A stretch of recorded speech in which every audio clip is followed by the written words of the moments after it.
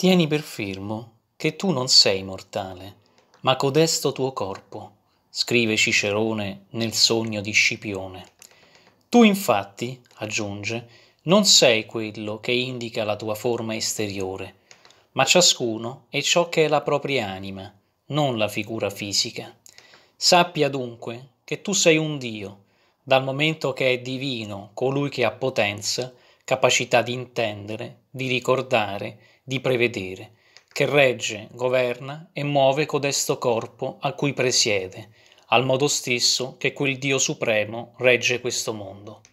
E come quel Dio muove il mondo che è in qualche sua parte mortale, così l'anima eterna muove il corpo corruttibile. Nel corso dei millenni, nelle diverse culture e religioni che hanno caratterizzato la civiltà umana, sono stati attribuiti nominativi diversi per identificare la parte divina presente nell'uomo e nell'universo.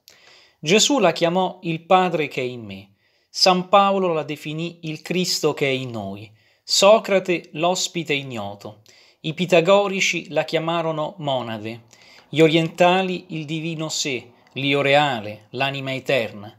I neoplatonici rinascimentali, da Marsilio Ficino a Giordano Bruno, la definirono anima mundi. Gli stoici, da Seneca a Marco Aurelio, il principio divino che è in noi. Gli scienziati, come Albert Einstein, l'atomo permanente. E molti altri filosofi e saggi usarono le espressioni spirito, scintilla divina, il soffio divino, l'io spirituale tante espressioni diverse che hanno tutte lo stesso significato, la presenza di Dio nell'uomo e nell'universo. Nell'Ars Amandi Ovidio scrive Vi è un Dio in noi e noi abbiamo relazione col cielo e dalle eteree sedi a noi discende l'ispirazione. Chi vede Dio nel proprio cuore lo vede anche fuori, ha scritto Ramakrishna, chi non trova Dio in se stesso non lo troverà mai fuori di sé, ma l'uomo che avrà visto il Signore nel tempio della propria anima lo vedrà pure nel tempio dell'universo.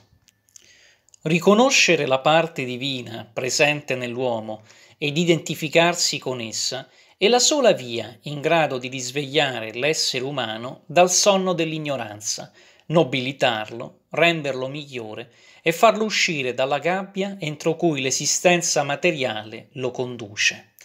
O ciechi, il tanto affaticar che giova, scrive Petrarca, tutti tornate alla Gran Madre antica, e il nome vostro appena si ritrova.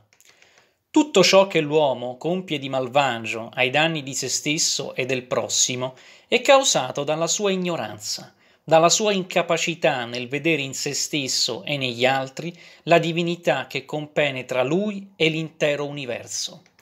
Se l'uomo infatti vede se stesso solo come bestia, come potrebbe percepire sentimenti di amore nei riguardi di un suo simile, dal momento che per lui anche gli altri uomini non saranno che altrettante bestie?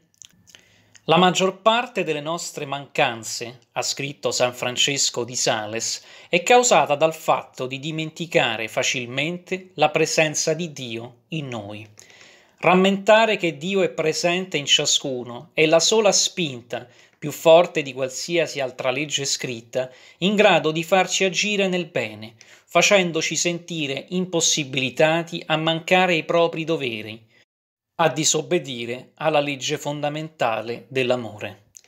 Il Tempio di Dio è santo e noi siamo questo Tempio, ha scritto San Paolo.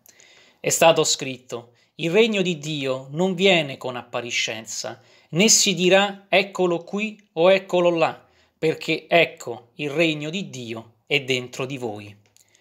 Non è necessario innalzare le mani verso il cielo, né scongiurare il custode del Tempio che ci consenta di accostarci al simulacro di Dio per essere meglio ascoltati, ha scritto Seneca nelle lettere a Lucilio. Dio è vicino a noi, è con noi, è dentro di noi.